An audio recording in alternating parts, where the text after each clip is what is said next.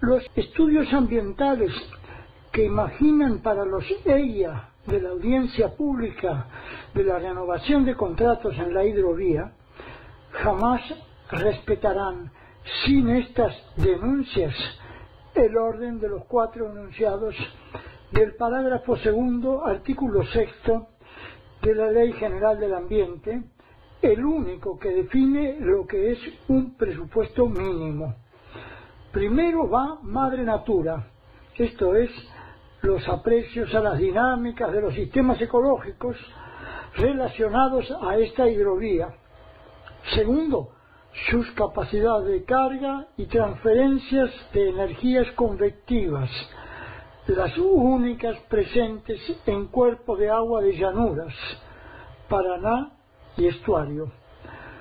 Por ello, todas las modelaciones matemáticas del Instituto Nacional del Agua, del CONICET y de consultores ambientales respecto a hidrosedimentologías modeladas con soportes en fabulados flujos laminares, solo suman a los interminables cegueras de la tres veces centenaria mecánica de fluidos newtoniana, denunciadas ya en 1986 por Sir James Lighthill, antecesor de Stephen Hawking, en su cátedra de matemática lucasiana en Cambridge, con pedido de disculpas que nunca resultó apreciado.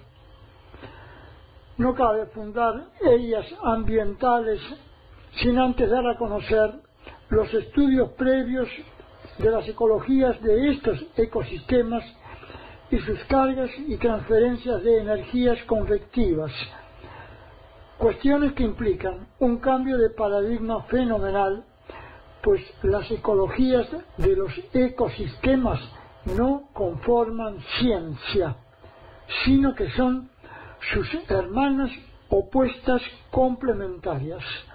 Enlazan lo que la ciencia particiona para luego unir con inferencias matemáticas, cuestión que no se resuelve con el holístico aderezo de la voz ecosistémico.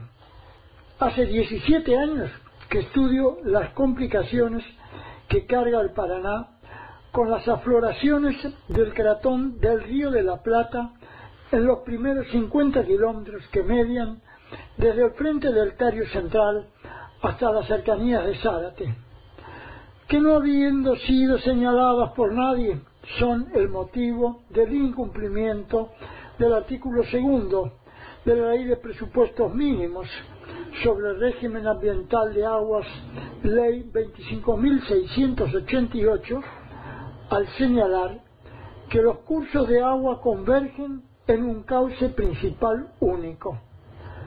Todo lo contrario sucede con el Paraná, buscando con su larga docena de brazos salir al estuario.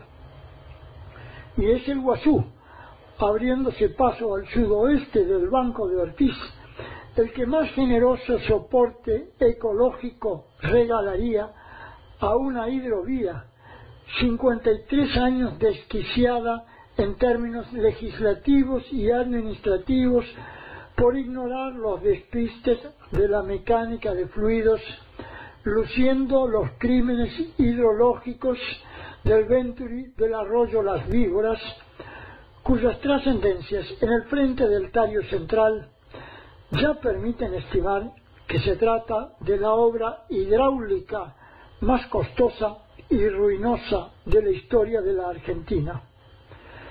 Nuestras preguntas no son científicas, sino ecológicas. Los lazos de estas miradas son los que ha negado siempre el simplicismo analógico de la ciencia que niega disociaciones y resuelve sus particiones con física matemática. Exijan estudios de campo para verificar las características termodinámicas de los ecosistemas afectados en sus interfaces y las de este venturi criminal que hoy, tratados con criterios mecánicos, desconocen disociaciones energéticas y térmicas grotescas por todos lados. Darse a generar ellas ambientales sin avanzar en las evaluaciones termodinámicas de este ruinoso sistema del Venturi en los ecosistemas afectados no es lo apropiado. Ya es hora de aprender a mirar cómo logra Madre Natura fecundar enlaces entre ecosistemas sin pérdida de energías en el camino de sus transformaciones. A esta altura, vale que incorporemos voces nuevas como ecocidio, hidrocidio y dejemos para más tarde los clásicos homicidios. Natura está primera, aunque siempre parezca mostrarse en silencio.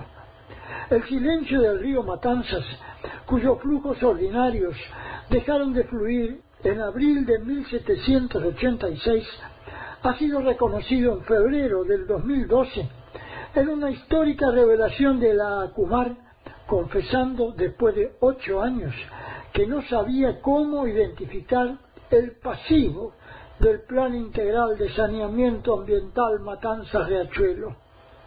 El Reconquista hoy nos saca el 1% de sus flujos ordinarios al estuario.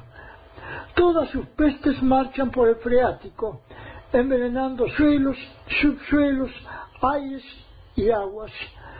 Otro tanto le pasa al río Luján, donde se han obrado los más horrendos crímenes hidrológicos e hidrogeológicos denunciados hasta el hartazgo por causas en Corte Suprema de Justicia de la Nación.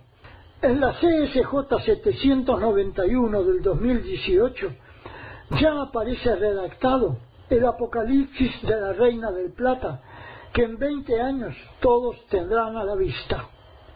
El Emilio Mitri ha sido hasta hoy el mayor aportante a estos desastres, que ahora completarán los vuelcos por emisarios de 4,3 millones de metros cúbicos diarios de efluentes al estuario.